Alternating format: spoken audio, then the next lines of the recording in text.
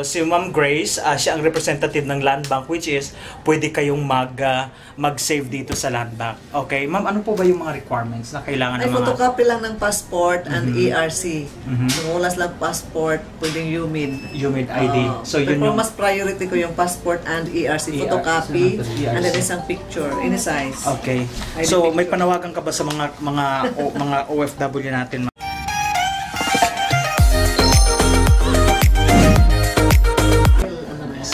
Champion. No, Premier. Premier. Marami Yes. ka rin mga ano pala. Yaman-yaman mo na ha. Di, Dami mo na. di mayaman. Ako ba? Di mayaman. Ang akin lang is tutulungan ko munang ano. Sige nga, tulungan natin. Okay, may dalawa dyan. Kukunan ko kaya. So mag-ano kayo ah? So mag mag-ano kayo mag Okay. Yes guys, welcome to my vlog. This is Alfred Ignat guys. So nandito ako ngayon sa Meco which is ah may tumatawag. So what ma? Diyan sa, sa bulsa, sa bulsa ng jacket mo. Oh, thanks siya. stop, nagkalit ani mo kita tas. 喂，小姐，小姐，咦，小姐，大妹回到了吗？因为我在那个飞呃工人。 Basta bot eh. 对， Mas blade mo. Mas bot. 等一下怎么办？ Uy, wala pangalan. Oh. Okay, pangalan.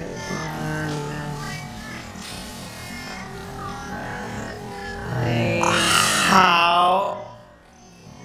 OK OK OK，我呃 OK，呃跟他们说要等我，可以吗？好，OK OK，对对对，他了解，OK OK。喂。Eh.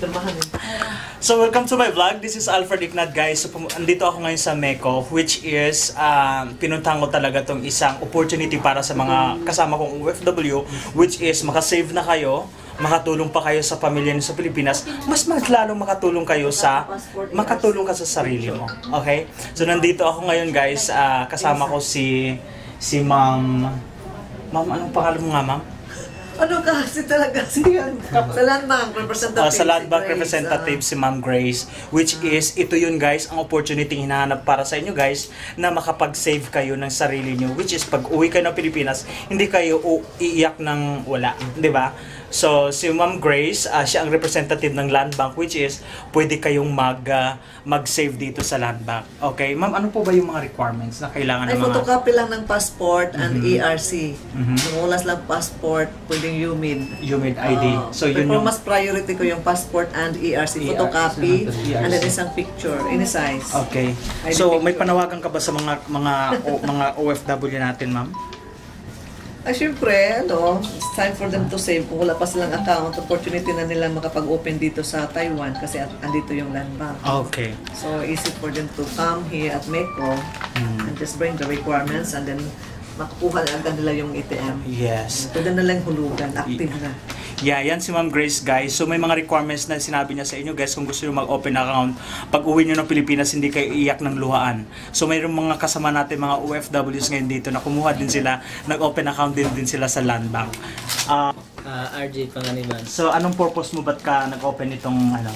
Para maipon ng pinagkitaan dito sa Taiwan sa Pilipinas. Mhm.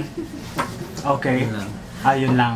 So si ate, Ganun din. Tapos na ako. ba't di ka nakatingin? Tingin ka kasi dito sa Sinamahan ko lang siya. Ah, sinamahan mo lang siya. Pero actually, tapos na po ako dito last last Last year. month. Oh. Hindi, last month. Oh, last month. Oo. So, anong anong masasabi mo sa mga kapwa natin, mga OFWs? Ano, ipon-ipon din kayo pag may time. Mhm.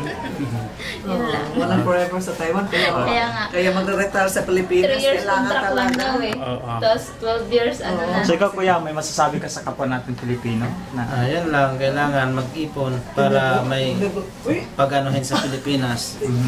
Makikita rin ang pinaghirapan dito sa Taiwan. ah, sige, batiin mo pamilya mo sa Pilipinas. Ah, shout out pala sa Pangila, Panganiban family dyan sa Saan? Pilipinas, sa San Dionisio, Iloilo. Ay, Saan din ikaw, ate? Pares kami. Parehas kayo? Oo. Oh, asawa mo? Oo. Mag-asawa pala to. So yun guys, so na-inform na po namin kayo guys. So don't forget to subscribe my YouTube channel, Alfred Ignat, ang pusong Pinoy na vlogger ng Taiwan. So kung mayroon pa kayong mga details na gusto nyo malaman guys, so you ha, uh, don't forget to comment ma comment down below para malaman nyo at sasagutin ko po yung mga question nyo dito sa kung paano po ang mga processing, ganun paano kukuha ng UI, UIC, ganun po guys. So thank you so much guys and thank you for subscribing my YouTube channel. Ma'am, may masasabi ka pa? Salamat for banking with Land Bank. Kasi see you here at the Okay. office. so kayo, yeah. So, Ah, Thank you. thank you.